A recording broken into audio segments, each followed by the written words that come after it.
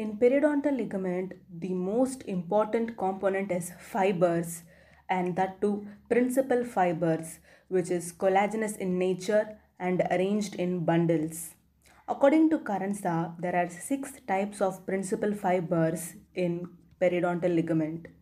What are those six types? Namely, transeptal group, alveolar crest group, horizontal group, oblique group, apical group, and interradicular group. The first group is the transeptal group of fibers. Transeptal, they will cross the interdental septum from one tooth to the another. These fibers are embedded in the cementum of the adjacent teeth. They are not going to involve the interdental alveolar bone Therefore, they could also be considered as a gingival fiber since there is no bone involvement.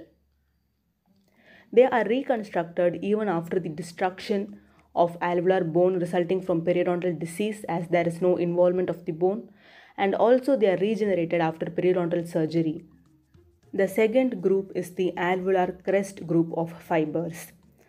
As the name suggests, they run in an oblique direction from the cementum below the junctional epithelium to the alveolar crest. The main function of the alveolar crest fibers is prevention of extrusion of the teeth and resistance to the lateral tooth movements. These fibers are incised during periodontal surgery, but it may not increase the tooth mobility when there is no significant clinical attachment loss. The next group of fibers is the horizontal group of fibers.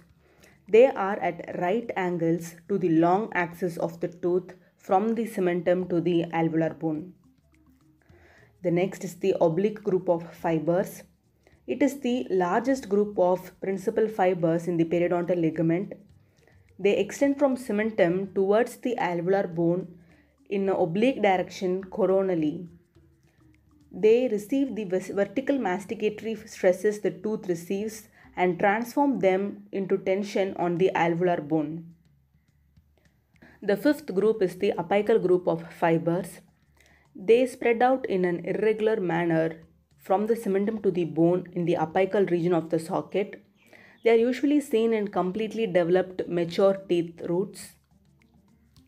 The final group of fiber is the interradicular group of fibers which are seen in multi-rooted teeth between the two roots. Apart from these principal periodontal ligament fibers, there are two immature forms of elastin fibers, oxytalan and elaunin. These fibers are associated with the blood vessels and regulate vascular flow. They run parallel to the root surface in a vertical direction and towards the cervical third bend to get attached to the cementum.